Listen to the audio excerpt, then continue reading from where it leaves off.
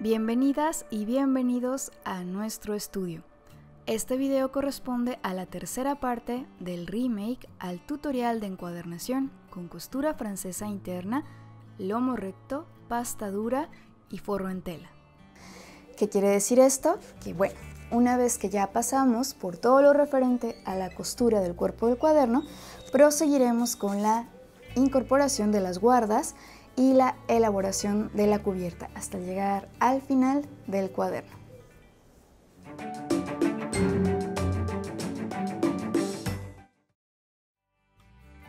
Recuerda que si has decidido que quieres refilar el cuerpo de tus cuadernos con la ayuda de una guillotina profesional o industrial, como puede ser la que está en una imprenta, un centro de impresión o un expendio de papel, este es el mejor momento para hacerlo especialmente para que tengas las medidas exactas después del refilado antes de cortar tus pastas. Aquí tengo los tres diferentes modelos de cuaderno que he estado usando para este video. Una vez que ya está realizada y terminada la costura, que ya tiene sus tres capas de pegamento, viene el momento de incorporar las guardas. ¿Qué son las guardas? No es otra cosa que una hoja exactamente del mismo tamaño que las hojas que tiene el cuaderno. Por ejemplo, aquí, eh, como les decía, yo siempre dejo escrito con lápiz muy suavemente cuáles son las medidas originales de la hoja. Y bueno, esa es mi referencia para saber que cada una de estas hojas mide 20 por 17 centímetros, entonces necesito dos hojas de cartulina, como comentaba en el video anterior, es cartulina iris, también puedes trabajar con cartulina Bristol o con cartulina opalina.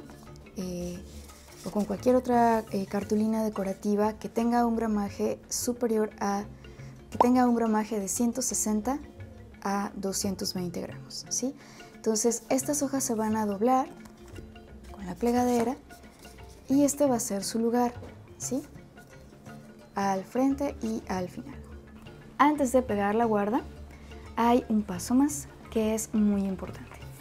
Vamos a hacer una marca por cualquiera de las caras de, de la hoja y tomando como referencia el doblez de la mitad, vamos a marcar aquí a los 6 milímetros en los dos extremos. ¿sí? Y después coloco aquí la regla. Estoy posicionándola en referencia a estas marcas y entonces voy a venir a marcar y remarcar súper bien este doblez. Ahí se puede apreciar.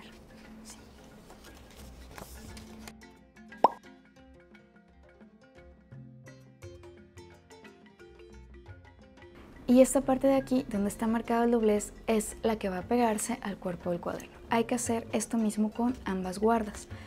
Eh, cuando un cuaderno es demasiado gordito, conviene aumentar un poquito más, o sea, ya sea 1 o 2 milímetros, este espacio. Voy a repetir este mismo paso con cada una de las guardas para los tres cuadernos. Ok, Aquí estoy almacenando los cuadernos con sus respectivas guardas y voy a hacer el trabajo que requiere el fuelle. Entonces, además se necesita un pedazo más de cartulina que puede ser de cualquier color. Eh, a veces, bueno, puede ser muy bonito que todo vaya a juego, pero en realidad esta parte en particular nunca se ve, ¿sí? Y esta va a venir aquí cubriendo el lomo y enlazando ambas guardas eh, haciendo una manera de fuelle. Hay encuadernadores que utilizan una tela tejida cuadros que en realidad hace este trabajo muy bien, eh, pero para mí no es sencilla de encontrar. Entonces, bueno, he recurrido a, a esta estrategia y siempre me ha funcionado muy bien. Este pedazo de cartulina que estoy usando para el fuelle, ¿qué características debe tener? Debe ser unos 7 milímetros más chica que el alto que tiene el cuerpo del cuaderno, como se puede apreciar aquí. Y en su extensión debe tener de entre 6 a 8 centímetros aproximadamente. Se dobla a la mitad, exactamente a la mitad.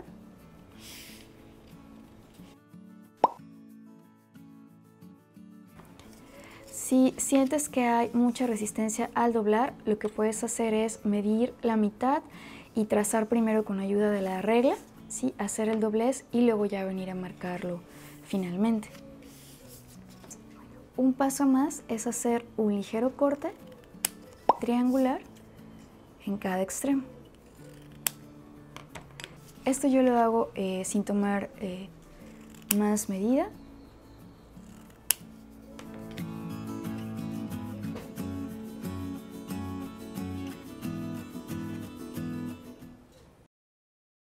¿Qué sigue ahora? Pegar las guardas. Eh, hay que trabajar con el mismo pegamento blanco que se preparó para recubrir la costura y entonces con mucho cuidado cubrimos muy bien esta eh, delgada pleca. Es muy importante no traspasar esta área. Eh, de hecho, algo que se puede hacer es cubrir así para no correr ese riesgo. Y entonces, bueno, ya que está cubierto, solo doy la vuelta, me cercioro de que está perfectamente colocado. Y entonces ya sea con la ayuda de la plegadera o con un trapito, ¿sí? Hay que dar varias pasadas por el área de pegado. ¿Sí?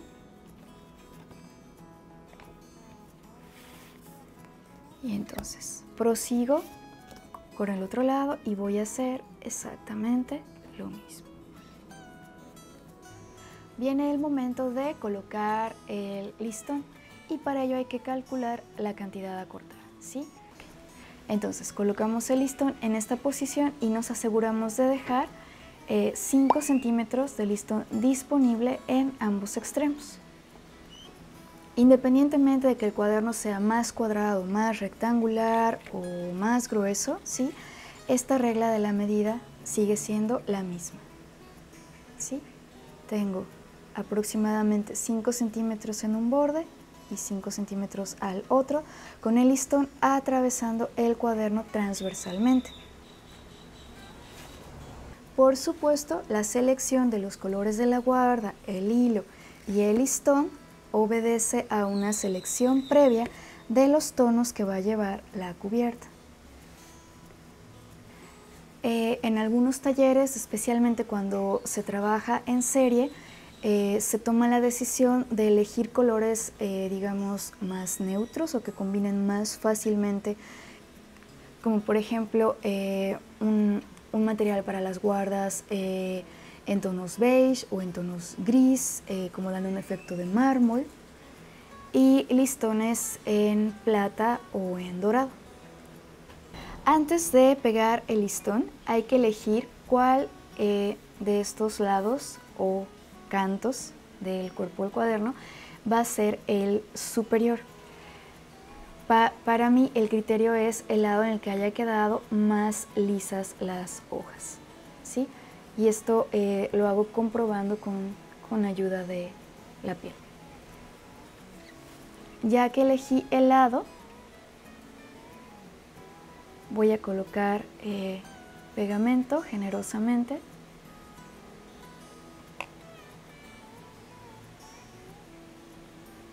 y voy a posicionar aquí el listo. ¿sí?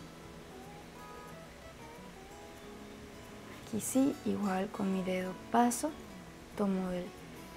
Hay que centrarlo, si por ejemplo quisieras que un cuaderno lleve más de un listón, eh, bueno, pues aquí, aquí decides la posición que va a tener, pero si es solo uno, pues conviene que esté centrado, ¿sí?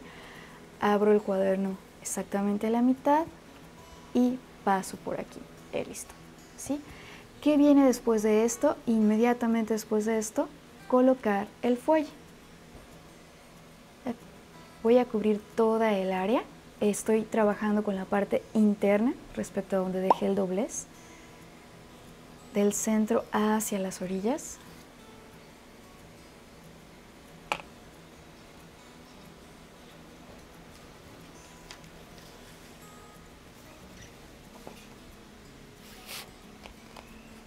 Entonces vengo y coloco aquí, ¿sí? Asegurándome de que la mitad, ¿sí? Del fuelle coincide con lo que vendría a ser pues la mitad del el lomo o el área de costura, ¿sí?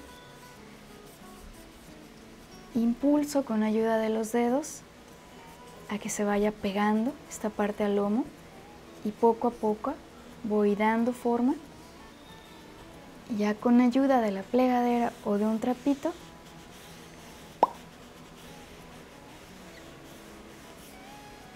puedo venir a asegurar esta parte. Conviene pasar por aquí y marcar muy bien los bordes. Así va luciendo hasta el momento el proceso de encuadernado. Esta parte y esta parte son las que se pegan a la cubierta. Si te hubiera quedado una arruguita como esta que me quedó a mí, no pasa nada, solo con la plegadera la aplanas lo más posible. ¿Sí? Y ya está. Aprovecho también este cuaderno para decirte que, bueno, aquí me sobró bastante del hilo al momento de calcular. Entonces, ¿qué hago? Considero los 5 centímetros que necesito y corto. Ya están aquí los tres cuadernos, casi a punto de pasar a incorporar las cubiertas. Mientras elaboramos las cubiertas, una recomendación que te hago es dejar el cuerpo del cuaderno con papel secante. ¿Por qué? Porque todo el pegamento que se incorporó en estas áreas va a ir generando humedad que podría reflejarse en algunas ligeras ondas, sobre todo en las páginas que están más cerca de esta área. ¿sí? Entonces, ¿qué es esto del papel secante? Bueno, eh, es un papel grueso de una estructura eh, muy peculiar, bastante porosa, ¿sí? que al menos en México se llama así tal cual, papel secante, y lo puedes encontrar en las papeleras. ¿Sí? o sea, los expendios dedicados exclusiva y específicamente al papel. Si no tuvieras uno cerca o si no manejaran el papel, ¿sí? puedes utilizar lo que es cartulina marquilla eh, y puedes preparar tus cortes eh, de acuerdo a los tamaños de cuadernos con eh, los que tú quieras trabajar o, o, como los quieras producir. ¿Sí? Si tampoco encontraras cartulina marquilla, si tienes eh, papel común de reuso, como suele ser el que recibes en estados bancarios o fotocopias que ya no te sirven, lo puedes doblar y va a hacer exactamente la misma función que los otros dos ejemplos. Entonces, ¿en dónde colocar el papel secante? ¿Sí? Aquí en la segunda página, ¿sí? Para que, eh, bueno, para que proteja del pegamento que se puso en, en el doblez de la guarda. Uno más aquí. Lo mismo al otro lado.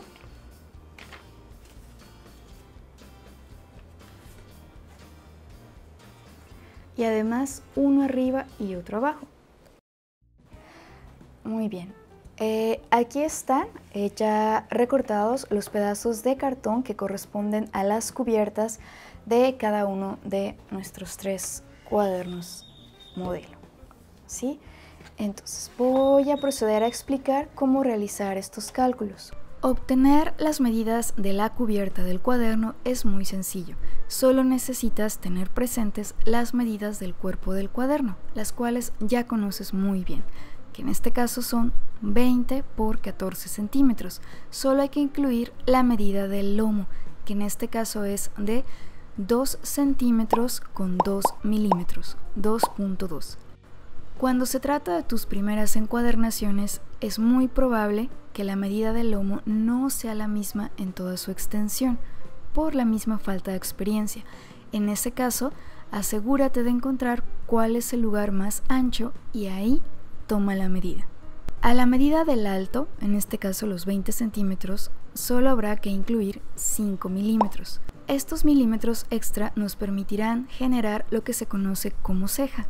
la ceja tiene un papel de protección al cuerpo del cuaderno, dado que lo salva de un contacto directo con las superficies, ayudando a que permanezca más limpio y a que no se deterioren las hojas en las esquinas.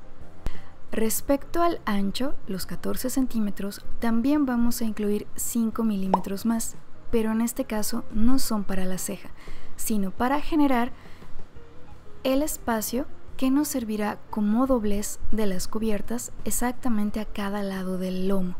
¿Qué quiere decir esto? Que sobre el rectángulo que estamos trazando de las medidas, tendremos primero de izquierda a derecha 14 centímetros línea, después 5 milímetros, otra línea, la medida del lomo, 2.2, línea, otros 5 milímetros, de nuevo una línea, y los 14 centímetros restantes.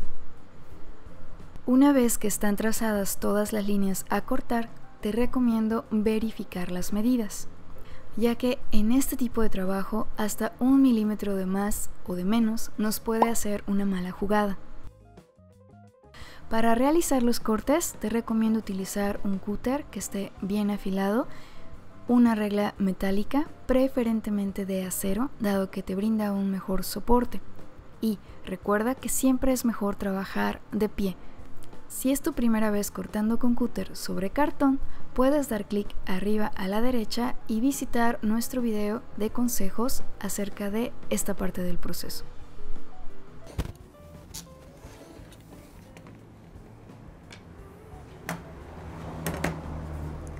Entonces, bueno, aquí están todas las piezas que conformarán la estructura de la cubierta. Para dar un ejemplo más, el cuerpo de este cuaderno mide 10 centímetros de ancho por 17 y medio y su lomo mide 1.7 centímetros. ¿sí? Entonces, en este caso, como les comentaba, que eh, son 100 páginas, este, estos cortes los dejo en 5 milímetros cada uno. Entonces, bueno, aquí tenemos de 17.5, si pasa a 18, 18 es la medida del alto para toda la estructura y tenemos 10 y 10 centímetros y 1.7 aquí. Bien, hemos llegado a la parte de forrar las tapas y así generar la cubierta para los cuadernos. En este ejemplo es un mismo trozo de tela el que va a cubrir toda la cubierta. Por supuesto, se pueden hacer diferentes combinaciones e incluso tener materiales mixtos. Tenemos por ahí ya un video en el que te explicamos cómo incorporar una ilustración en un cuaderno de este tipo que lleva tela en el área del lomo y la cubierta posterior. Puedes checarlo dando clic en el enlace arriba a la derecha. ¿sí? Pero para este caso, ¿qué necesitamos? Bueno, necesitamos que la tela tenga entre uno y medio, al menos, a dos y medio centímetros hacia cada lado porque esto se va a doblar hacia adentro. ¿Sí?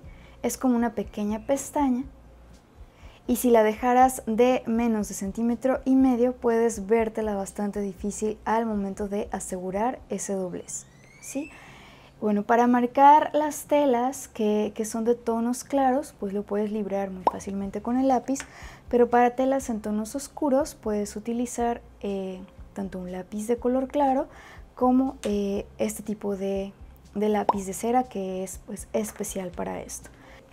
Para tener un cálculo eh, muy sencillo de la distancia de tela que necesito o dónde eh, hacer mi marca de corte, yo generé esta especie de regla de cartón que tiene bueno, el grosor que busco y me facilita esa parte del trabajo. ¿sí? Eh, en casos como este, en el que eh, vas a trabajar con una sola pieza de tela, puedes dejar la parte del corte hasta el final para que el cartón, como una unidad, eh, sea más manejable al momento de hacer estos cálculos. Esta tela, por ejemplo, proviene de lo que antes fuera una camisa. En estos casos es importante verificar en la etiqueta cuál es la constitución pero antes de usarlo hay que tomar un corte de una esquina y en algún resto de cartón hacer una prueba, porque algunas de las telas aún siendo 100% algodón, tal vez por el paso del tiempo, los detergentes, etcétera, eh, pues pueden ir alterando algunas de sus cualidades. Entonces aquí tenemos otro ejemplo, igual para trabajar con un solo pedazo de tela. Y en este caso voy a incorporar dos telas. Esta marca de aquí corresponde al espacio que tendrá esta tela. Y el resto iría acá. ¿Sí? En los dos o, tres cortes de tela que vayas a integrar en el cuaderno, siempre hay que asegurar los espacios sobrantes. ¿sí? Un detalle más, eh, en las tiendas de tela normalmente hay tijeras específicas para cortar tela yo en particular me hallo muy bien con estas que son de la marca Smarty. Eh, las encuentro en México en papelerías Tony. Y en su descripción lo que te especifica es tijera multiusos para hogar y para oficina. Entonces eh, me viene de maravilla tanto para el trabajo con la tela como para eh, cortes de papel, de listón, etc. voy a empezar a trabajar con el modelo del cuaderno más pequeño. Eh, aquí te hago una sugerencia. Cuando las medidas de alto y ancho del cartón eh, tienen tan poca diferencia que casi parece un cuadrado, eh, yo suelo marcar unas líneas. Puedes generar cualquier tipo de, símbolo que, tenga un mensaje claro para ti, para saber que, bueno, este es el lado que corresponde, si esta es la dirección. Si yo pegara así en las telas, definitivamente ya la cubierta no empataría con el cuaderno y bueno, ya no serviría. Entonces, bueno, aquí tengo eh, hojas de, de revistas, material publicitario y lo tengo para proteger pues tanto mi mesa de trabajo como para garantizar la limpieza de todas las partes del cuaderno. Entonces, empiezo a cubrir. En el pegamento tengo la misma preparación que mostré en la parte 1, solo he añadido unas gotitas de agua para mejorar eh, su manejo.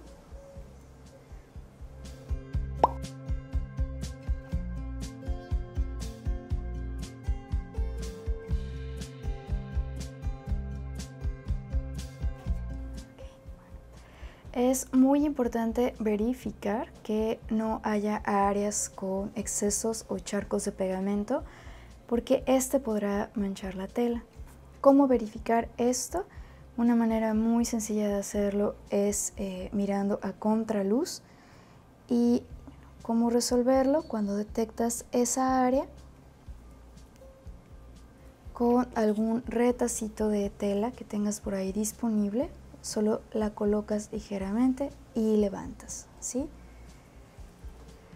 Por ejemplo, aquí hay un pequeño sobrante en estos bordes. Siempre hay que ir doblando estas hojas para que no se conviertan en un riesgo de manchas. Hay que asegurarnos de pegarlo muy bien los primeros segundos se puede levantar con mucha facilidad, entonces puedes venir y volver a colocar. Puedes utilizar una regla como esta para también eh, irte guiando al momento de acomodar los cartones, especialmente si estás empezando.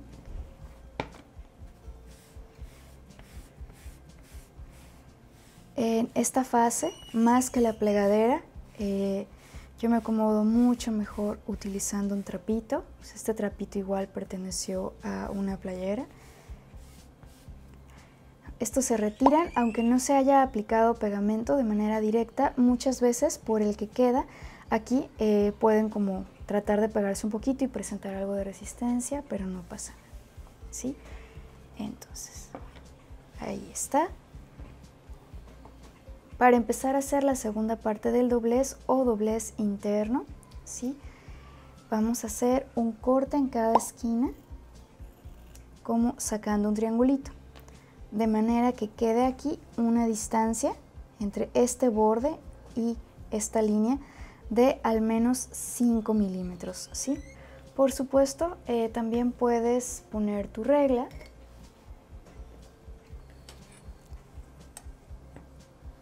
Y calcularlo con más precisión. Eh, de hecho, estos mismos palitos, sí, que ya sabes que tienen un grosor de 5 milímetros, sí, lo puedes colocar aquí y marcar tu área, sí.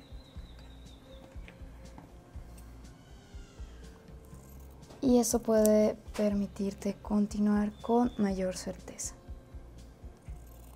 Para proceder a pegar, eh, siempre hay que hacerlo como en espejo. ¿Qué quiere decir? Que si voy a empezar por este lado, entonces antes de ir por este o por este, debo venir por el que está enfrente.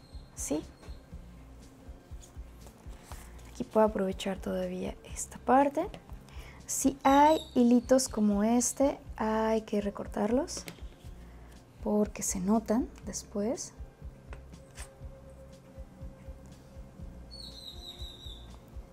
Entonces, como podrás darte cuenta,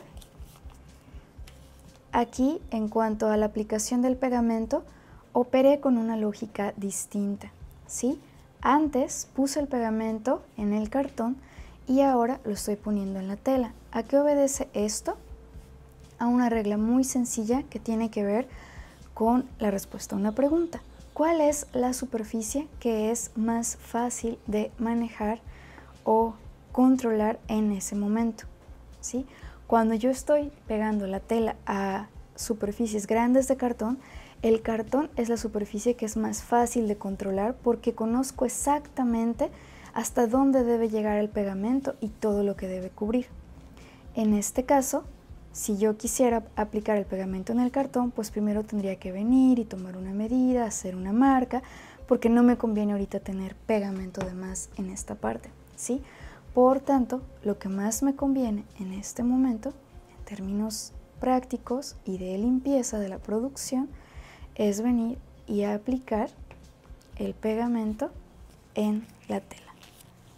Aquí, aunque tengas tres partes separadas eh, aparentemente, eh, para la tela es una misma parte o una misma pieza. Entonces, eh, no se puede pegar solo un ladito, pegar solo la mitad. Entonces hay que cubrir todo completamente y hay que eh, cuidar que el pegamento también esté llegando a esta parte de aquí de los bordes. Entonces voy a pararlo así para que se vea bien en la cámara y ¿qué hago? Lo primero que hago es con ayuda de mi dedo voy a venir y voy a hacer aquí un doblez si no lo quiero hacer con el dedo, también lo puedo hacer con la plegadera, ¿sí? Y hago lo mismo al mismo tiempo en las dos esquinas, ¿sí? Con las dos manos. Y entonces bajo. Inmediatamente después bajo. ¿Sí? Y entonces, ¿qué pasó? Bueno, que ahí quedó como escondido ese pequeño pliegue. Por aquí hay algunos otros hilos, los voy a quitar. Igual que te recomendé cuando en la fase de la costura del cuerpo del cuaderno, una vez que empieces este trabajo, eh, no te detengas. Disponte a hacerlo de principio a fin.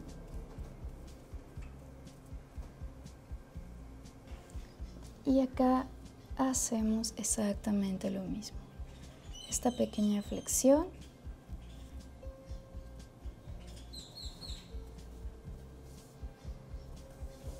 en este momento, ¿sí? En este momento ya es posible proceder a integrar el cuerpo del cuaderno con su cubierta, ¿sí?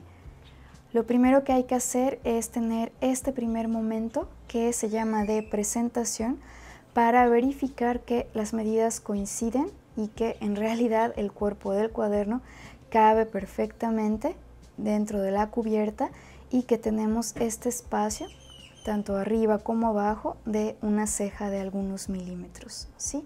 en los cuales irá centrado. Algunas personas eh, dejan primero a secar las pastas antes de eh, integrar al cuerpo del cuaderno. Eh, esto conviene hacerlo si, por ejemplo, estuvieras haciendo una producción en serie y vas, a, vas a dedicar todas tus horas de tu jornada, por ejemplo, a hacer pastas, pastas, pastas y hasta el día siguiente vas a pegar, entonces sí te conviene dejar secando con papel secante y un peso encima, si tienes prensa pues eso será ideal, pero eh, si estás haciendo solo un cuaderno y ya tienes todo listo, eh, puedes ir directamente a la siguiente fase. ¿Qué se tiene que hacer? Bueno, estar muy seguros de dónde estás pegando. Si yo, por ejemplo, aquí eh, colocara este al revés, ¿sí? En algunos estampados no afecta, pero en este, si yo tengo los animalitos eh, de cabeza, pero en cambio mi listón está acá, pues será más que evidente que estuvo al revés. ¿Podría rescatarse? Sí, pero para eso pues tendría que deshacerme del listón, ¿sí? Para que nada evidenciara que el cuaderno está al revés, pero pues no es lo recomendable. Entonces, eh, voy a la parte posterior del cuaderno, ¿sí? Y justo aquí, en donde se abre la guarda, pongo un papel de reuso y entonces voy a cubrir toda el área de pegamento. El mismo pegamento es el que he estado usando en todo el proceso del cuaderno. Aquí, muy importante, nunca se pone pegamento en el área del lomo. Esa parte, recuerdo, no va pegada. Solo hay que cuidar, llegar muy bien y cubrir este borde. Retiro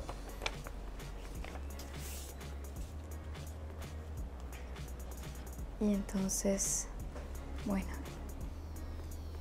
en esta etapa es muy fácil que haya eh, algo de pegamento que se filtre hacia otro lugar. Con el mismo trapito se puede retirar. Y entonces toda esta parte de la guarda viene a pegarse aquí. ¿sí? Voy a cuidar que se centre muy bien. ¿sí? y voy a verificar tengo disponible este espacio, ¿sí? Es como si el cuerpo del cuaderno viniera a posicionarse o sentarse justo en este borde del cartón, ¿sí? Necesito esta área para cubrir el resto. Aquí sí, la plegadera puede ser el mejor aliado para reforzar y hay que asegurar que al hacer esto sí se está generando esta área del doblez. ¿Sí?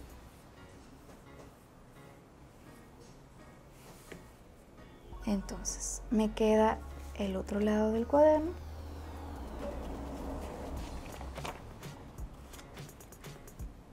Pongo la hoja respectiva. Cubro levanto y retiro esta hoja con mucho cuidado.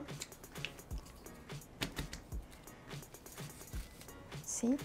Y en este caso, después de doblada, la vuelvo a meter porque la presión que voy a hacer ahorita viene desde arriba. ¿sí? Estiro muy bien. Doy la vuelta para poder tener un punto de apoyo en la mesa. ¿sí? Y como puedes observar, vuelve a quedar centrado. Marco, trato de marcar muy bien, sobre todo este borde.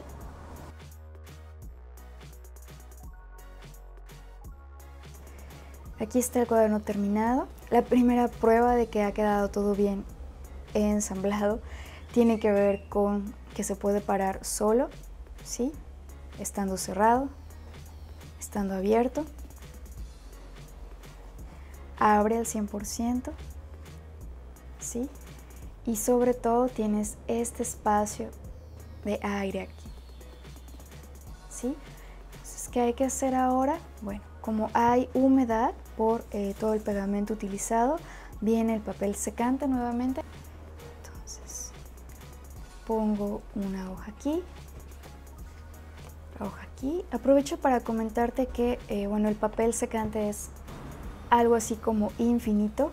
Tengo eh, seis años con estos eh, pedazos que te muestro aquí en pantalla. Sí se va manchando con el paso del tiempo, pero sigue haciendo su trabajo perfectamente. ¿Sí? Entonces, y bueno, ¿qué, qué hago? Lo dejo así con bastante peso encima. Pueden ser libros si no tienes eh, una prensa en donde pueda entrar completamente. ¿Y cuánto tiempo dejarlo ahí? Un mínimo de 4 horas, pero lo más recomendable es que se quede de 8 a 12. Y bien, así estamos ya casi concluyendo este video tutorial de remake de encuadernación con costura francesa interna, lomo recto, pasta dura y forro en tela. Así se puede apreciar el cuaderno abierto.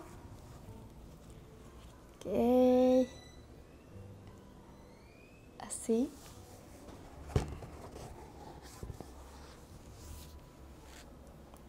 Se puede ver cómo las pastas sostienen el cuerpo del cuaderno. Respecto al listón, estos 5 eh, centímetros de más es lo que le da la funcionalidad para que, bueno, con solo estos dedos pueda moverlo a lo largo del cuaderno. Eh, el que esta área esté en un tono liso y más fuerte tiene que ver con mi intención de ponerle aquí un botón eh, que cierre con elástico. ¿sí?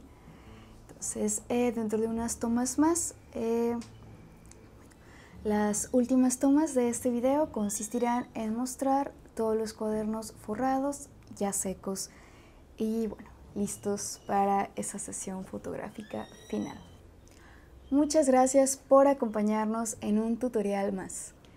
Deseo de todo corazón que disfrutes bastante elaborando tus cuadernos. Chao.